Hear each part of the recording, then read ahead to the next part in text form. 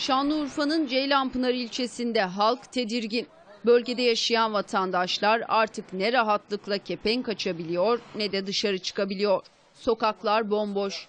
Dükkan açanlar da artık isyan ediyor. Yeter artık çocuklarımızı dışarı çıkaramıyoruz diyor.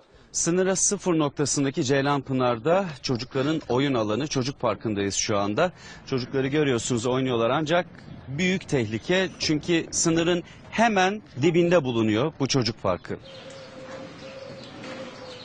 Çocuk parkının oyun alanının sınıra ne kadar yakın olduğunu göstereceğiz şimdi sizlere. Çocuk parkını gördünüz.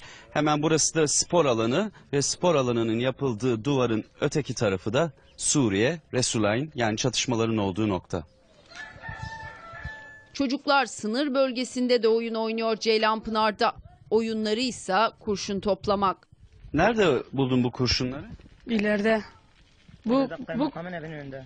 bu kurşunların bize değmesinden çok korkuyoruz valla. Ceylanpınar'da vatandaşların tedirginliği sokaklara yansımış durumda. Çarşı neredeyse boş. Peki neden? Neden? Oradan buraya gelen kurşunlar işte onlardan biri bir dükkanın camına isabet etmiş ve burayı delmiş gördüğünüz gibi.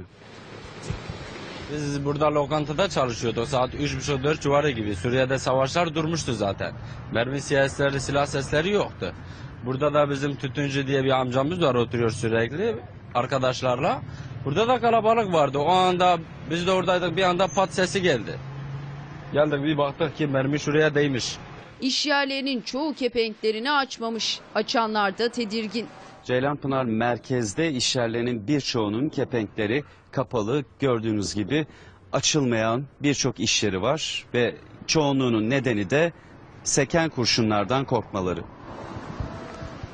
Ceylanpınar halkı damlarda yatıyor ve bu e, savaş nedeniyle çoğu içeride yatmak zorunda kalıyor. E, kiminin evinde klima yoktur, vantilatör yoktur.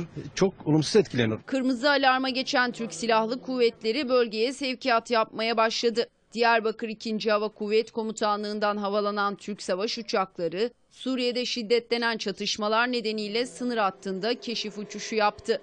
Sınırın diğer tarafındaysa PYD'ye bağlı güçleri görmek mümkün. Hemen arkamda Suriye topraklarının Resulayn'ı görüyorsunuz. Oradaki bina şu anda PYD'nin kontrolü altında. Ee, buraya ateş açılıyor. Buradan da hemen sağ tarafa yani muhaliflerin kontrolündeki noktaya ateş açılıyor. Bu arada da hemen taşların yanında görüyorsunuz e, Türkiye'ye ait tanklar ve askeri araçlar bulunuyor.